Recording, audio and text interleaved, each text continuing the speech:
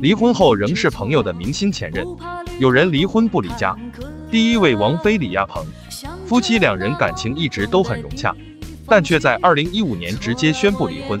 离婚多年的两人还共同庆祝女儿生日。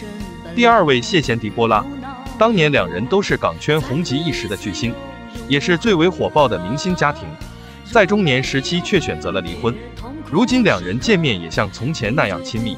第三位江山高曙光，因戏生情的两人没多久就结婚了，但在女儿四岁的时候却离婚了。而江山和前夫也一直保持很好的关系，女儿也没有因父母离婚受到伤害。第四位吕良伟周海媚，两人也是属于闪婚闪离的明星夫妻，虽然后来离婚了，但没有闹得太僵，即使多年后同台也是能合照的朋友关系。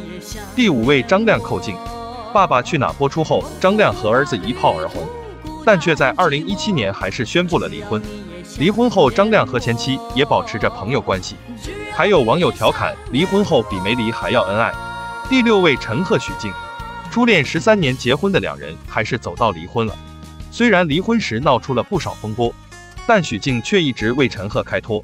最后一位马景涛吴佳妮，相差二十一岁的两人感情一直不被人看好。婚后，吴佳妮还为马景涛生了两个儿子。但十年后，两人还是宣布了离婚。离婚后，两人也还会一起吃饭、照顾孩子。你觉得哪一对分开最可惜呢？